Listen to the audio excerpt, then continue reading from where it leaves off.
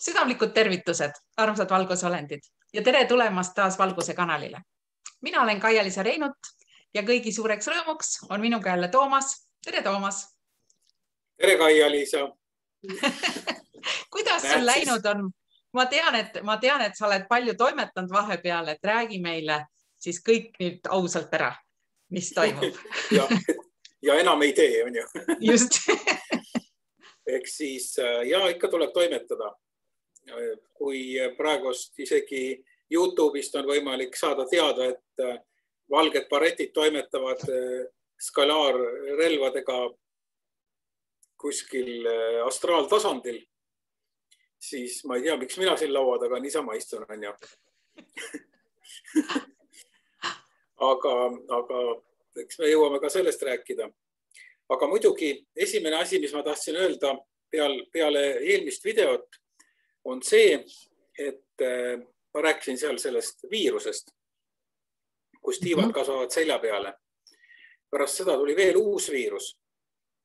ja mm -hmm. siis enam ei kasva tiivad, vaid pannakse, äh, kuidas öelda, roostevabast plekist äh, selline plaat turja peale. Ähm, see näeb välja niimoodi, nagu seda pannakse vahest kuskile kus inimesed käivad. ja sinna tehakse sisse veel siuksed nagu träpsud, et inimesed ei libiseks, jalad ei libiseks selle peale. ja siis mm -hmm. sinna peale valatakse kaks väikest tiiba mm. -hmm. ja kinnitus on siis teine samasugune plaat, mis kinnitatakse turjanaha alla. nii et kui seda eemaldada, siis tuleb korralik suur tükk nahka välja sealt aga see on muidugi astraalkehas ja mm -hmm, mm -hmm. maaenergiat peale ja kümne mm -hmm. minuti pärast on juba kõik paranenud. samas ikka... seda, seda on ju tegelikult tunda füüsiliselt, ta võib ju astraalkehas olla, aga kui see peal on, siis selliseid asju on ju tunda tegelikult. võib-olla tunda. on jah, ja sümptomid hakkavad ikka niimoodi, et nohu ja väike köha ja ja vahet mm -hmm. ei ole, kõigile mm -hmm. sobib mm, -hmm. lastele, täiskasvanutele ja mm. -hmm. et, äh, ma ei teagi, praegust on alguse asi, et kui kaua see kestab mm. -hmm. noh, metall kestab kauem kindlasti kui niisama kajaka tiivad just, just. ma kahtlustan ise seda, et see on nüüd see niinimetatud kolmas laine mm, -hmm. mis äh, laborites oli välja töötatud mm, -hmm. oli nii-öelda vabrikus valmis tehtud mm, -hmm. hoidlasse ilusti pandud. ja siis ma käisin seal hoidlas ja korjasin selle astraalse tausta ära uh. Mhm. -huh. ma tegin kevadel ka sedasama asja uh. Mhm. -huh. ja siis tuli äh, meile niinimetatud viirushaigus, millel olid kõik Covidi sümptomid uh. Mhm. -huh. ja, ja praegust on ka, osadel inimestel on ka uh -huh. täiesti selle haiguse sümptomid uh. -huh. on mindud isegi arsti juurde, testid uh -huh. on negatiivsed uh. -huh. ime küll uh, -huh. eks ju. aga nii, aga nii see on uh. -huh mm. -hmm. et ühesõnaga, see on, see on üks lihtsalt üks süütu viirus, millel on need sümptomid lihtsalt hirmutamiseks ja, ja selleks, et inimesed nagu nõrgestada nende, nende vastupanu igas mõttes. ma arvan, ma arvan, et ta oli mõeldud muidugi selliseks ikkagi korralikuks äh, tapjaks mm. -hmm. mitte enam mingi null koma protsenti, vaid ikka mm -hmm. juba kümnetes protsentides mm. -hmm. aga noh, praegust mm -hmm. ta ei toimeta, tal mm -hmm. ei ole jõudu mm. -hmm. just, et äh, meeldetuletuseks veel, et kui teil on lihtsalt, lihtsalt nii-öelda nagu arstitädi ütleb, respiratoorsed äh, haigused või kuidas need olid mm, -hmm. respiratoorsed jah, haige. jah.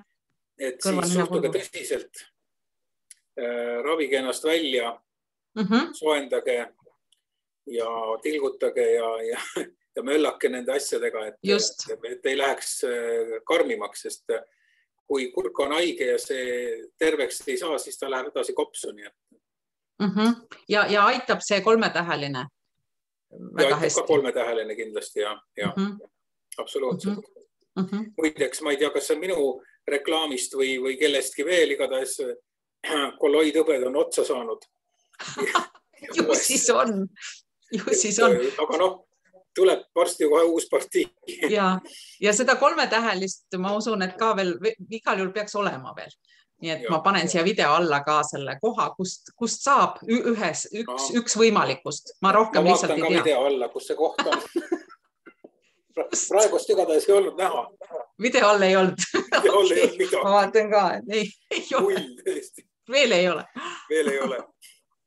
okei nii, siis äh, teine asi, mis ma tahtsin rääkida, on, on meie öö, valitseva kliki poolt maha vaikitud Balti kett ja nii-öelda tehtud pseudo, pseudo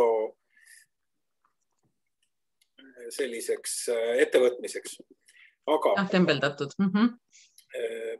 mina kuulsin pärast esimest Balti ketti, ma tõesti ei mäleta, kuskohast ma kuulsin seda, et et, et juhul, kui meil oleks selle esimese Balti ketiga olnud kõik ühel, kuskil ikkagi ühel momendil kõik äh, inimestel kõigil käed koos, siis oleks meie nagu see, see, see, see jõud sealt, see mentaalne jõud oleks olnud veel, veel suurem, veel tugevam.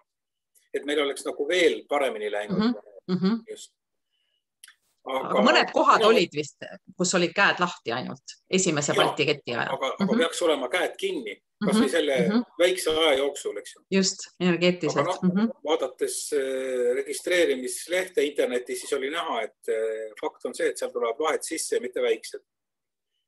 ma otsustasin seda parandada, seda olukorda mm. -hmm. ja siis äh, küsisin järele, mida teha tuleb.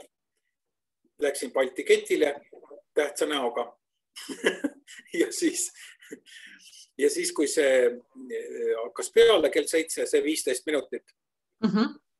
siis ma tõmbasin alla eh, ühinemisenergiat.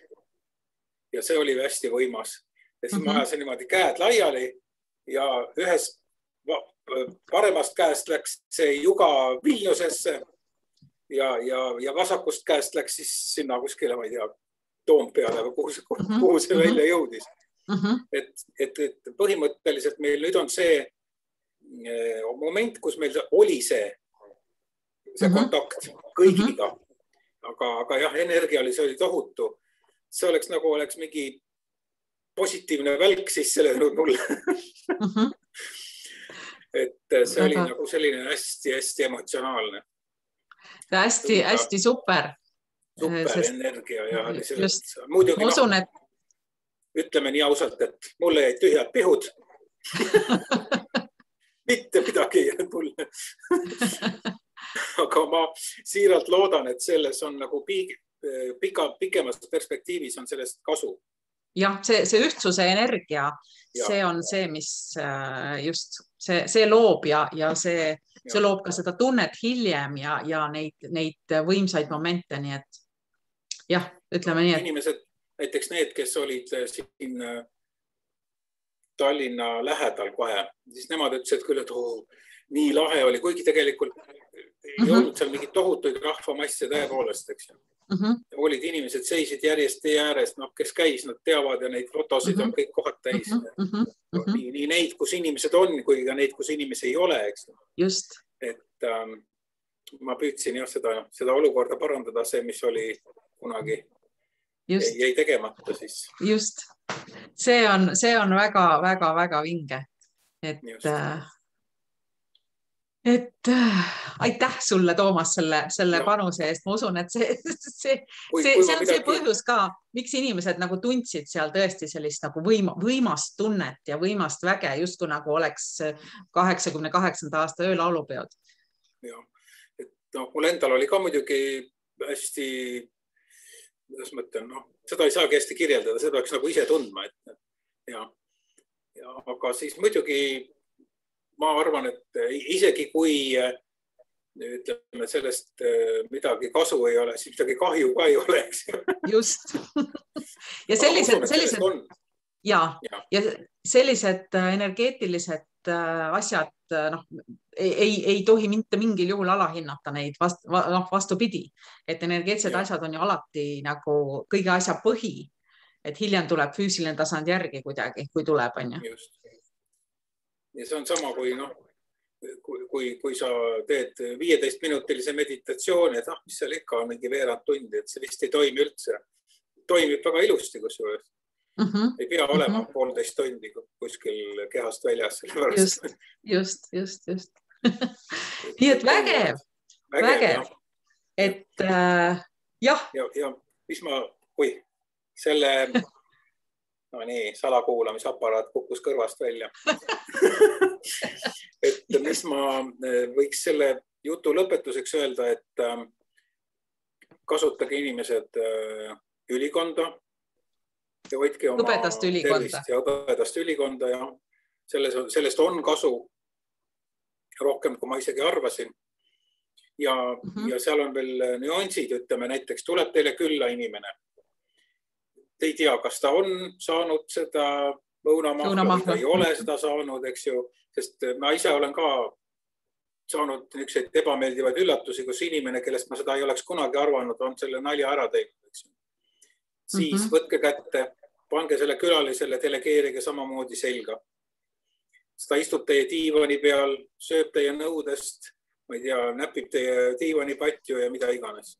ja, ja pärast pärast te mõtlete, et huvitav, kus mu energia kõik kadunud on, eks ju mm. -hmm. et äh, niimoodi te kaitsete ennast mm. -hmm. jah mm -hmm., meid on sellel... päris palju kas sellel ülikonnal on ka mingi muu nimetus äh, peale selle, see hõbedane ülikond, millest rääkis Toomas Piik või?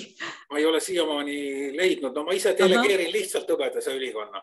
ahah, okei okay.. ma okay. kardan, kardan lihtsalt seda, et, et kui kui jätta see nagu kõrvale, sealt tuleb mingisugune teine asi. ja, ja just, just, just, just. No, siis on, nii tuleb teha ja uh. -huh. kuidagi teistmoodi uh. -huh et ei pea olema mingi minu isikukultus, et. ei, seda mitte, aga lihtsalt, et, et see, ma tahtsingi teada, et kas, kas sa oled saanud sellele mingi nii konkreetse nimetuse, et kui inimesed nii ütlevad, et, et äh, tuleb see konkreetne asi, mis sulle öeldi, et tuleb äh, delegeerida et või, või töötab see ikka seesama, samal viisil, nagu sa alguses rääkisid? nii et. mul oli selline mõte, et ma võib-olla äh, lähen sinna valgusolendite laeva ja pean nõu seal, et võib-olla nemad oskavad midagi öelda, see on niisugune mm, -hmm. kuna, kuna nemad on sellised äh, mittesõdijad, kaitsjad, siis mm -hmm. võib-olla nad mõtlevad välja mingi toreda mm -hmm. nime sellele asjale ja siis mm -hmm. järgmises videos ma ütlen mm. -hmm väga hea. okei okay. okay,, aga Tore. selliks tänaseks ja. meie lõpetame ja kohtume juba õige pea Valguse kanalil. nägemist. kõike head, nägemist. Nii